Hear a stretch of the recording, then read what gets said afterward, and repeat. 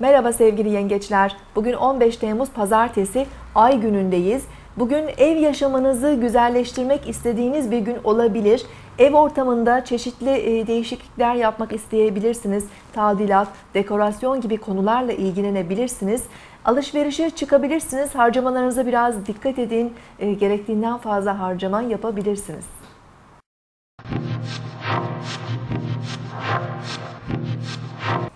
Burcunuzu dinlediniz. Bugün 15 Temmuz Pazartesi ay günündeyiz.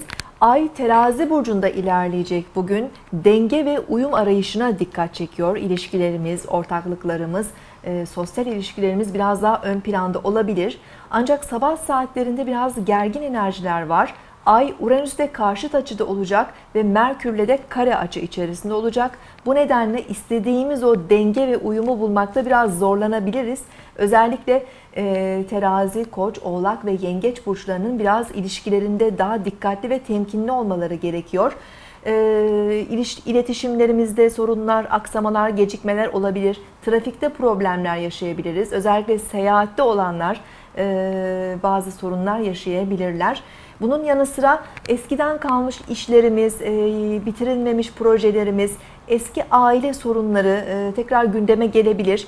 E, eski bir arkadaşımızla karşılaşabiliriz, haberler alabiliriz. Gün içerisinde bu etkiler birazcık ruhsal dengemizi sarsabilir. Temkinli olmamız gerekiyor. Öğleden sonra akşama doğru şartlar daha da iyileşecek. Sert etkiler yavaş yavaş dağılacak. Yarın tekrar görüşmek üzere. Hoşçakalın.